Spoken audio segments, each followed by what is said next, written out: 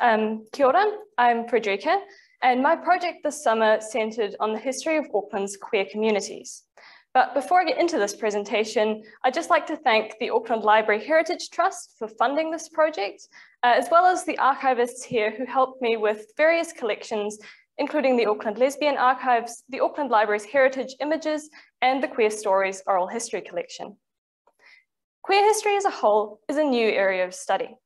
It has only gained prominence within the last few decades, in parallel with the growing acceptance of queer communities in Auckland and New Zealand. Yet queer people existed in the city well before the legislative and social changes of the late 20th century, the most significant of which was the Homosexual Law Reform Act in 1986. While queer people existed before such developments, they were for the most part hidden. And the question that naturally arises is where? This question led me to the topic of my project, which is queer spaces in the three decades leading up to homosexual law reform.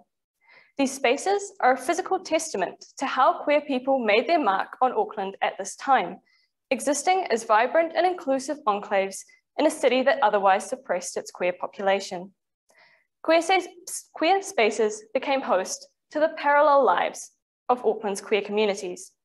Yet these spaces also gained an agency of their own, shaping the culture and character of their occupants. Auckland was home to three distinct forms of queer parallel spaces throughout the period in question, which give rise to the three strands or parallel lives that this presentation weaves together. The first is a network of private houses, including the Herne Bay House on the left, in which queer Aucklanders lived and socialised. Exclusively queer flats were established out of necessity, but quickly became a cultural phenomenon.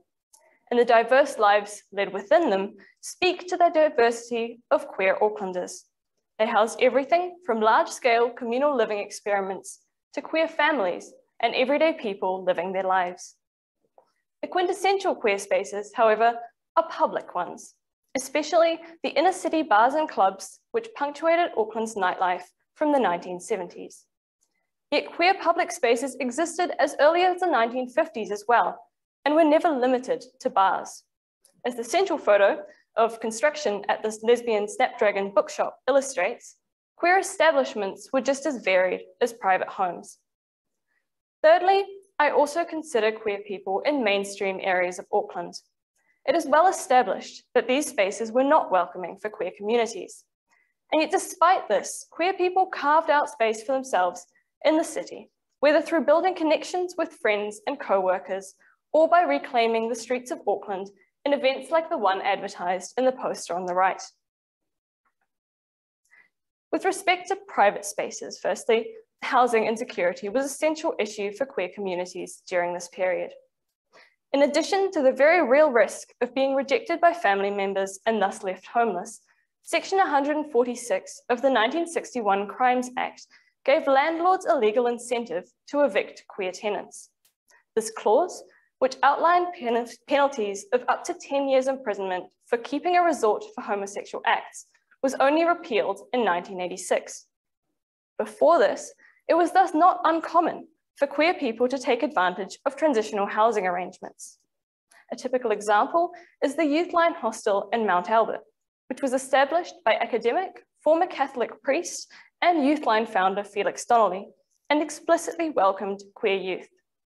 Living in an accepting and affirming environment like this was a pivotal experience for many people, with David Russell, who later became a prominent gay activist, recalling that Felix Donnelly's place helped me to come to terms with my sexuality. Flatting, however, became the most widespread living situation for Auckland's queer communities. While it was fairly common for queer couples to live together in the 1950s, the growing collective consciousness of gay and lesbian communities in the 1970s gave rise to a well-connected network of queer flats in the central suburbs of Ponsonby, Grafton, Herne Bay, and Grey Lynn. Or more accurately, two networks. The consistent division between gay and lesbian households reflected the belief at the time that homosexual men and women strive for different things, as one woman, Sandy, expressed it. So what was it like to live in one of these queer homes? Both images here relate to one well-known, if slightly unusual flat. Early in 1982, 10 women and one of their children moved into this house on Wallace Street in Herne Bay. They attempted the communal thing in larger style, as it was described, that is to actualize a lesbian feminist vision of shared resources, communal living, and political activity. Household tasks were rostered, childcare was divided equally, and the flat became a hub for Auckland lesbians. Over the following years, people gathered at Wallace Street for everything from astrology workshops to garage sales and meetings on queer unemployment. In this respect, the Wallace Street House hints at a wider theme of this presentation. Private homes did not lock queer communities behind closed doors. More often than not, in fact, their doors were wide open. Auckland's queer homes were a social venue as early as the 1950s. As one gay man, Billy Farnell, recalled in a later interview, gay people went to each other's homes. That was the crux of the whole thing. This took the form of house parties, with couples taking turns to host, play music, and outdo their friends with elaborate baking. When queer venues emerged in Auckland, these homes became, if anything, even more public households often frequented bars and clubs as a group. For instance, a 1983 House Antics evening held at the Lesbian KG Club and pictured on this slide featured flat performances. Wanganui Avenue offered a synchronized dancing routine, Paget Street a musical drama, and Franklin Road, whose residents planned the event, sang together. This leads me to the public spaces of Auckland's queer communities. Informal queer-dominated venues existed as early as the 1950s, including the Cardoro Coffee Bar on Custom Street and the Lily Pond at the nearby Great Northern Hotel, which is shown on the left of the slides.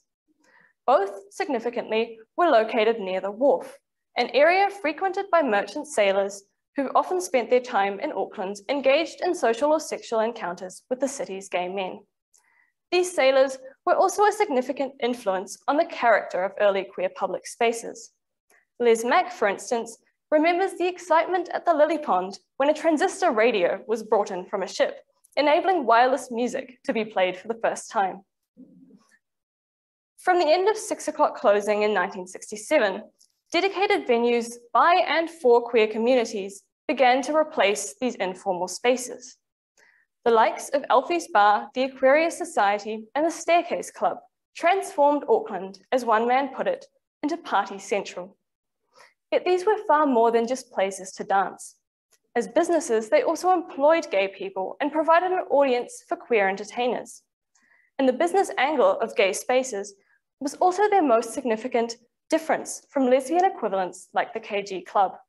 The latter was a community project where all work was voluntary with the singularly feminist exception that two cleaners were paid. As the main centre for Auckland lesbians, the KG Club also had a wider range of functions than individual gay establishments.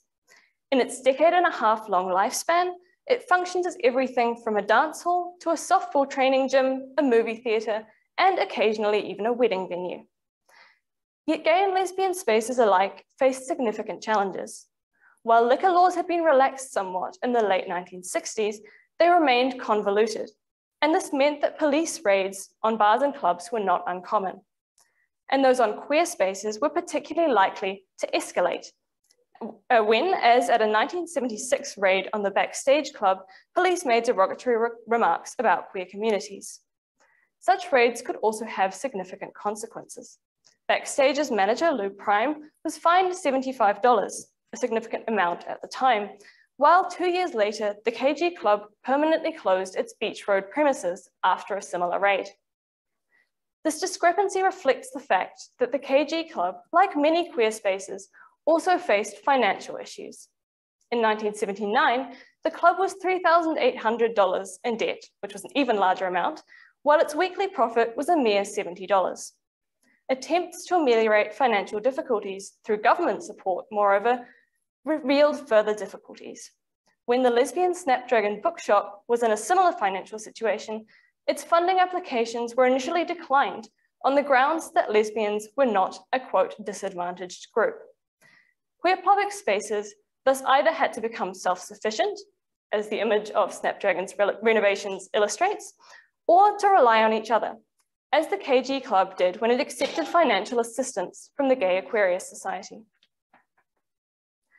The most transformative challenge to queer public spaces came, in fact, from within, through groups of queer people who felt unwelcome in these establishments. Much of this exclusion stemmed from a fear of heterosexuality entering queer spaces.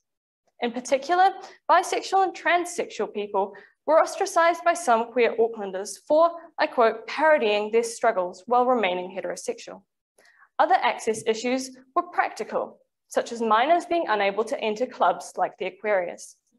Yet these seemingly practical issues also had an ideological basis. In the case of lesbian mothers, the ostensible problem was the, a lack of childcare in queer spaces. Yet this itself was the product of an underlying anxiety around male and non-queer children entering these spaces for fear that they were, as the KG Club committee put it, potential women oppressors. From the late 1970s, such gatekeeping in queer public spaces was, however, challenged. A mass walkout at the lesbian-owned Alexandra Tavern, which is shown on the right uh, and had been accused of racism towards Māori and Pacific patrons, began a five-year-long boycott by marginalized members of Auckland's queer communities.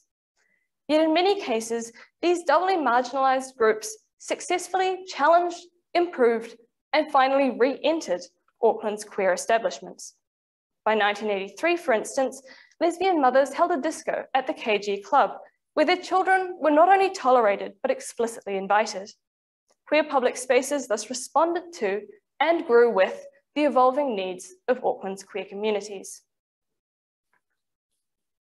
Alongside private and public spaces of their own, queer communities also occupied the streets of Auckland.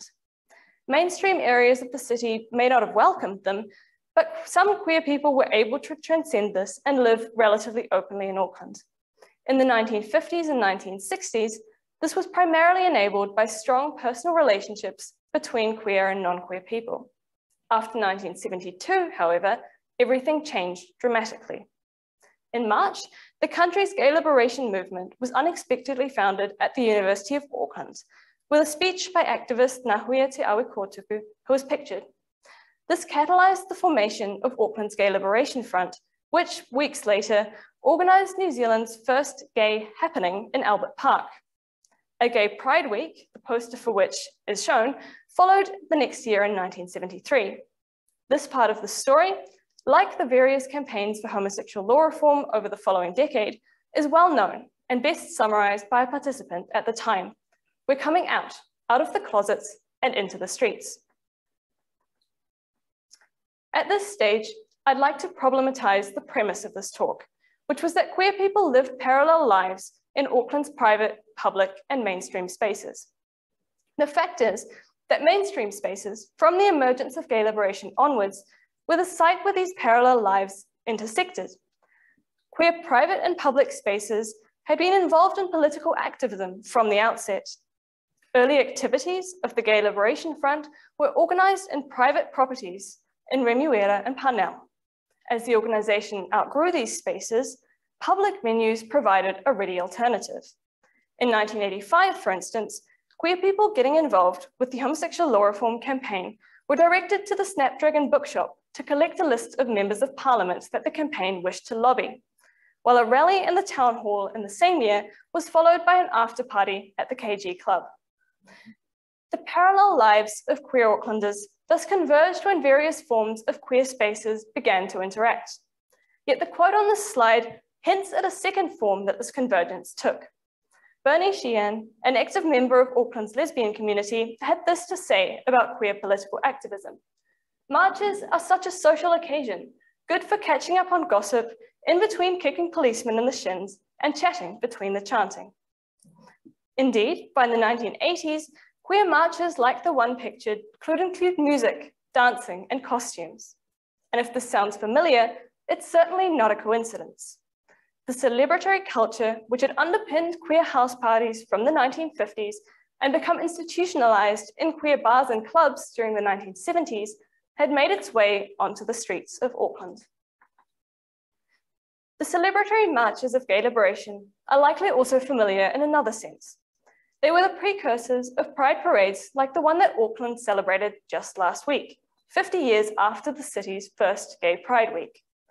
It is thus possible to argue that the private and public spaces of queer communities, which are featured throughout my project, despite their decline following homosexual law reform in 1986, still survive. These spaces not only set the stage for subsequent generations of queer bars and clubs, they also fostered the culture of queer communities. And when they united around political activism, they introduced this culture to the streets of Auckland. Queer spaces, private, public, and mainstream, are thus one reason that the vast majority of queer Aucklanders today no longer need to live parallel lives.